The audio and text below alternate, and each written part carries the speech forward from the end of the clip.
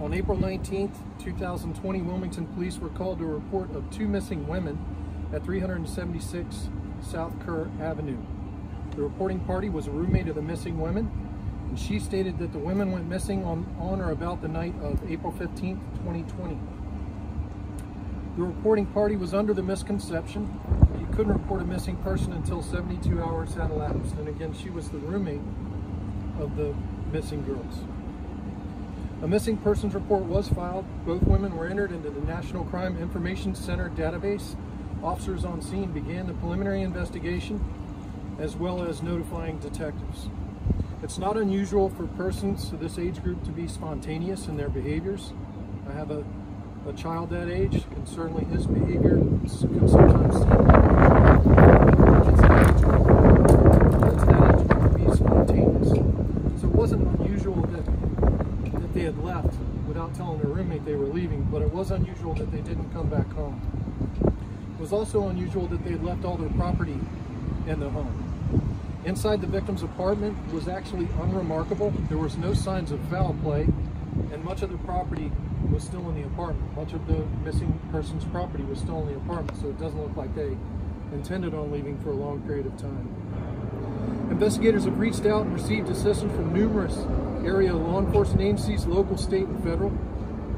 We've utilized Sable in a search for broad areas of interest in an effort to find the missing Dodge Dart, which I'm gonna we're gonna be getting all y'all pictures of that Dodge Dart, it's the car, because there's some specific identifying features on that car that we want y'all all to look at. Detectives of the Wilmington Police Department are taking every possible investigative step to develop any leads that arise in this case. And during the course of the investigation, which is still ongoing even now, detectives have spoken with family members and are in the process of collecting information from friends, family, and co-workers of both missing women in an attempt to gather information as to where they may have gone and when they went missing on the night of April 15, 2020.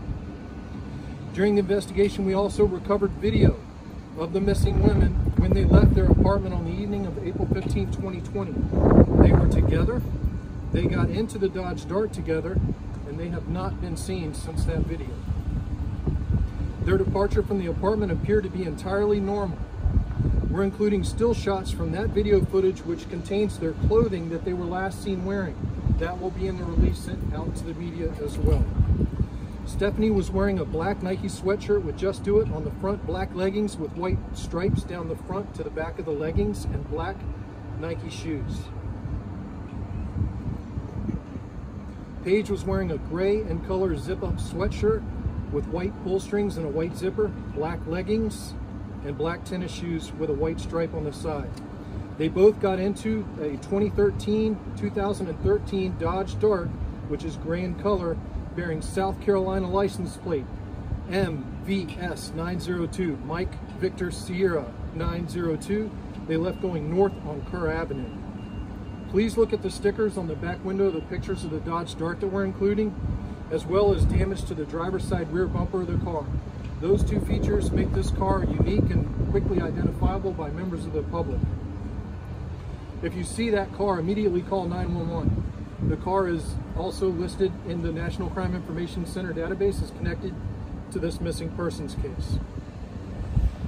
We believe that it's extremely important for those in the entire Wilmington metropolitan area, including Brunswick and especially right now Brunswick County. We've got some active information that we're working right now and trying to corroborate. Uh, so Leland Police Department, Brunswick County Sheriff's Office, uh, Navassa and Northwest all need to be on the lookout for this vehicle as we do have some not tangible leads and not corroborated leads that the vehicle may be in Brunswick County. But our entire metropolitan area, to include Brunswick, Pender, Columbus, and Onslow counties, need to be on the lookout for this gray Dodge Dart. Please look carefully at the photos that we've sent out of the two women, as well as the clothing they were wearing on the night of 4-15-2020. And if any of Stephanie or Paige's friends or family members or co-workers have any information that may be relevant to where the victims may have been traveling to on the night of April 15th, we urge you to call 910 343-3620 to speak with a detective. You may also use our text-to-tip system by texting TIP 708, your message to crimes, which is 274637. Your message must begin with TIP 708. These tips can be sent anonymously. If you have seen these women since 4-15-2020, we again ask you to call or use text to tip. If you see the women at a location, immediately call 911 to get law enforcement to them. Once law enforcement gets in contact with them, it, they'll be listed as missing as well as their car. It's very important that we find them. I also want to add that Paige does have some loose connections to Spartanburg, South Carolina. She previously worked in Spartanburg, South Carolina. Uh, we know a lot more details about both of these women. I don't want to get into the minutia of, of all that. The investigation has been extensive, trying to figure out who they're connected to where they went. And we're working all those leads trying to find them. And we really are really hoping that uh, this has a happy ending. I want to show you the pictures of their vehicle and point out some of the specifics that I want y'all to pay attention to. On the driver's side rear of the vehicle, there's a dent on the driver's side rear bumper. And also there are stickers on either side, passenger and driver side of the rear window. Those stickers, the South Carolina tag, and the damage to the rear bumper make this vehicle uniquely identifiable to anyone who sees it. It is a 2013 gray Dodge Dart. Uh, that's the only thing that I have to add on that picture, and we'll make sure that the media uh, gets that picture as well as the pictures of both women and the clothing that they were last seen wearing.